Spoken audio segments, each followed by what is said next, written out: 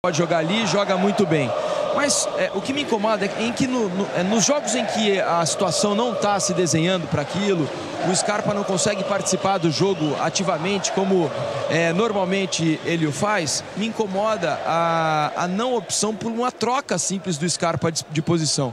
É, de, por exemplo, a gente conversava no intervalo, né, Alex? Imaginei que ele talvez pudesse colocar o Alisson já no intervalo para fazer a ponta direita lá no lugar do Scarpa, trazer o Scarpa por dentro e tirar, por exemplo, o Rubens, fazer o Arana voltar a ser um lateral, porque o Arana era uma figura que não estava conseguindo jogar, ele não estava participando do jogo, seja na construção é, é, nem na marcação, ele estava aparentemente é, não se encontrando dentro de campo e imaginava que talvez para o segundo tempo, para melhorar a criatividade do Atlético, que fez um primeiro, um primeiro tempo pobre no aspecto ofensivo, é, talvez trazer o Scarpa, onde ele jogou muito bem e muitas vezes no Palmeiras por dentro.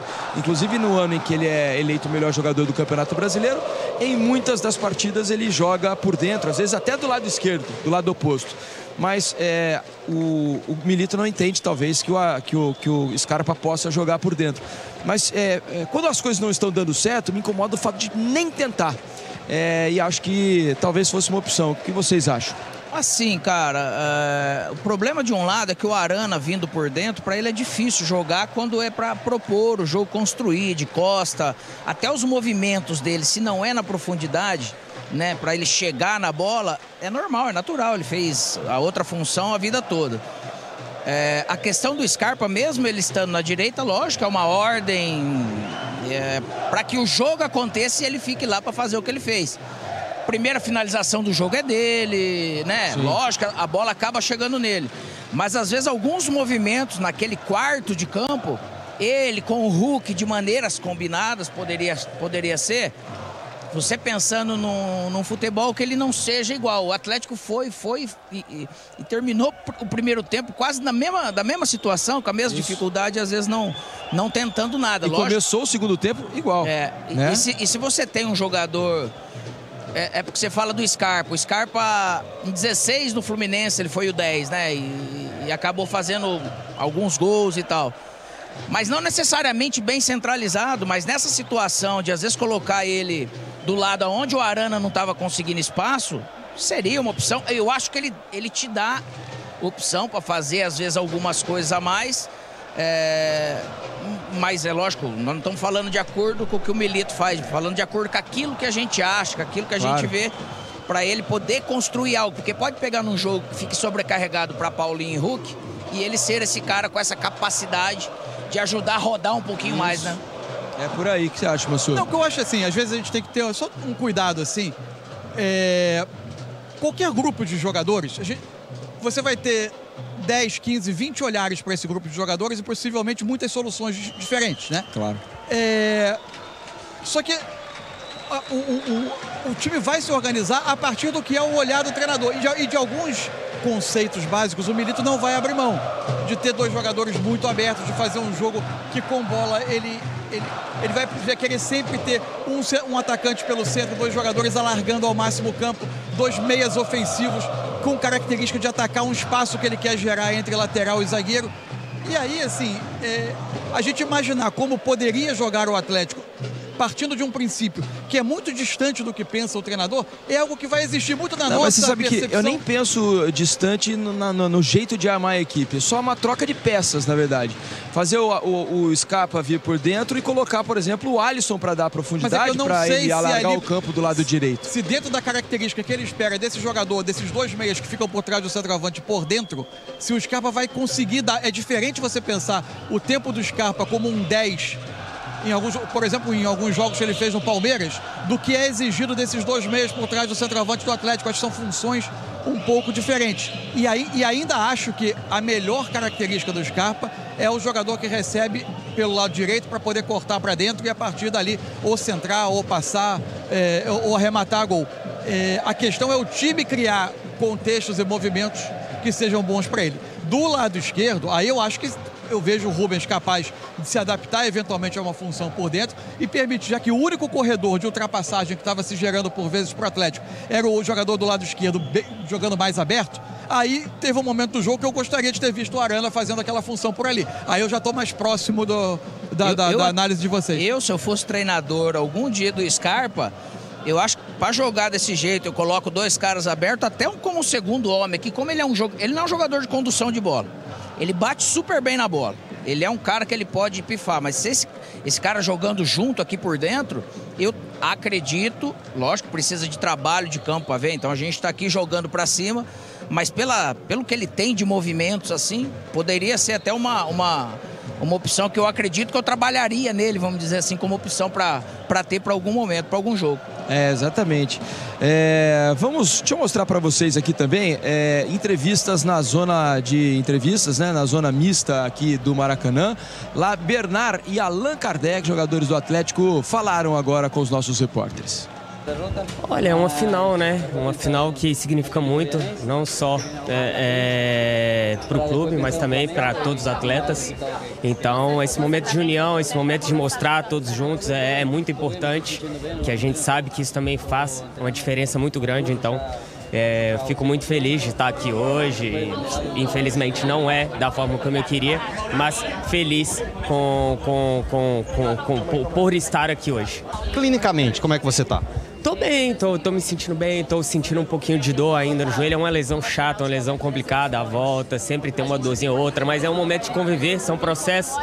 Tem jogos importantes em que eu quero participar, eu quero estar junto, então é, é, me cuidar, é, a gente fazer tudo que é possível para poder estar o melhor possível dentro dos jogos e sem dúvida nenhuma, mesmo se for com dor, eu quero estar jogando, eu quero estar ajudando o Atlético de toda forma. E creio que antecipar sua volta também tenha sido uma grande vitória, né? Sem dúvida, é, era uma, era uma lesão que a gente. Eu tive uma ruptura total do colateral, eu tive essa lesão uma vez, mas não foi uma ruptura total, então é, muito feliz de ter voltado antes do, do esperado, que era praticamente seis semanas, então eu voltei um pouquinho antes, então dei, deu um, um tempo de treinar pelo menos dois dias ali com o grupo, então é, eu espero que essa preparação aí é, tenha uma semana cheia para o próximo jogo também. Então é, eu espero que, que eu possa estar o mais rápido possível de volta aos jogos e podendo ajudar o Atlético. Obrigado, Bernard. Valeu. Assim, eu acho que dos maiores significados que isso possa ter tido e ter acontecido no dia de hoje para mim, eu acho que vem da palavra família, né? Porque após o jogo eu ligo a minha esposa chorando, a minha filha ao lado, as outras pequenininhas ainda não, né? Uma não acompanha muito, em dois anos de idade, não sabe muito o que está acontecendo, mas fica toda hora, papai gol, papai gol. E, e foi importante, né? Porque um longo tempo, mais de um ano sem fazer gols, e isso para um atacante é uma das piores coisas que possa acontecer, né? Graças a Deus tem sido uma temporada aí boa até o momento para nós. Estamos em duas finais aí de duas copas e o gol apareceu no momento certo. Eu acho que isso faz parte da nossa vida, né? Nunca deixei de trabalhar, nunca deixei de, de ter humildade, de respeitar meus companheiros e também adversários. E, e hoje, mesmo numa situação adversa, eu fui premiado aí poder ter uma boa finalização e fazer o gol. E manter a cabeça erguida e, e pensar nos próximos jogos que vem na temporada. É que não foi só o gol, o time mudou muito depois da sua entrada. Como é que se explica uma mudança tão grande de comportamento depois da, da, daquela entrada? Cara, difícil dizer, né? Difícil. E curiosamente, até conversando com o Scarpa ali dentro do vestiário, ele falou, cara, eu fiquei fazendo sinal para você ali quando você fez o gol e tal. Eu falei assim, pô, mas tinha só esse tempo que eu tava em campo, né? Às vezes a gente tá tão focado ali na partida parecia que já tava em campo, sei lá, 5 minutos, 10 minutos e, sei lá, era uma questão de, de poucos minutos, né? Então, assim, bom saber que, que da opinião também da crítica, né? Digamos assim, não de uma forma pejorativa, mas que, que tem acontecido uma mudança dentro daquilo que estava se desenhando a partida, uma mudança positiva, né? Principalmente por ter feito gol, ter criado algumas outras oportunidades e, e é continuar o nosso trabalho. A nossa vida segue. Tá aí, Allan Kardec, a gente ouviu ali também o Bernard, Bernard voltando de lesão, hoje não ficou no banco de reservas, mas veio com a delegação, tinha a expectativa até de que fosse é, relacionado para o jogo, não foi. Então tem uma semana para se preparar melhor, ele mesmo disse ali que fez dois treinos praticamente, né, com os companheiros, talvez é, tivesse sido cedo mesmo a participação dele aqui, pelo menos a a opção né, de ter ficado no banco de reservas, mas é, quem sabe para o jogo da volta seja uma opção né, para o Milito, para de repente entrar no decorrer da partida, enfim, não sei o que o Milito vai programar para o jogo da volta lá na Arena MRV. E bacana a história do Allan Kardec, né, que estava é, com pouco espaço é, dentro do time titular do Atlético. Hoje começou no banco, entrou e teve a oportunidade de fazer o gol. É, quem sabe engrena, né? Porque a carreira toda dele foi, foi de gols, né? Pelos clubes é, nos quais ele jogou. E, e, não é fácil suportar tudo isso, esse tempo todo sem jogar, né? Ter que ficar treinando com um cara que foi protagonista muitas vezes. Mas essa questão do futebol, de você nunca abandonar, você como atleta, e de o um clube, comissão técnica e seus colegas também nunca te abandonarem, porque pode ser que em algum momento você, você vai, vai acabar precisando de você. É lógico que volta de Zarate, principalmente, se você tem. É, você ganha essa opção é, técnica para esses momentos decisivos. Corpa, né? Ah, acaba gerando mais possibilidades para o seu treinador, senão até para dividir essa responsabilidade, características para você enfrentar esses adversários no final de ano. E no caso do Kardec, você teve o evento Daverson, né? É. Porque, em tese, sempre que o Milito passou a precisar de mais. Ou de, uma, mais, de ter mais um homem na área, seja para começar o jogo, seja para entrar, a forma como o Davidson chegou, ele não pode estar na Copa do Brasil, mas a forma como o Davidson chegou nas outras competições acabou ocupando um pouco desse espaço. Sem dúvida nenhuma. Deixa eu fazer o seguinte: vamos a um